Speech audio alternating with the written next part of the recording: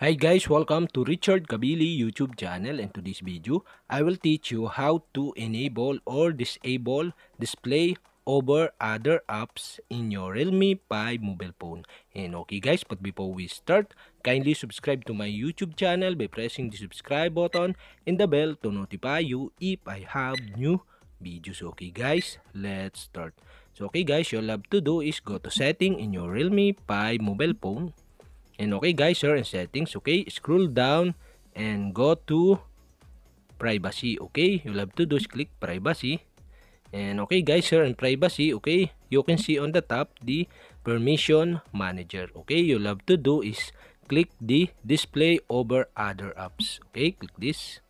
And now here in display over other apps, okay, I have two apps allowed.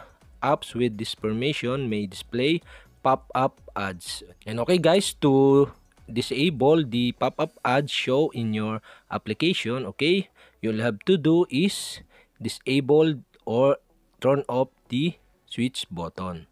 And okay guys, so I have two apps. So okay, this is the another one. So I turn off this by switch off the switch button. And okay guys, if you turn on the pop-up ads to your application okay you'll have to do is switch on the switch button on the right side of the application.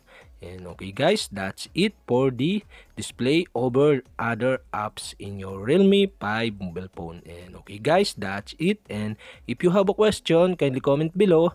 And don't forget to hit the subscribe button and the bell to notify you if i have new videos. Okay guys thank you for watching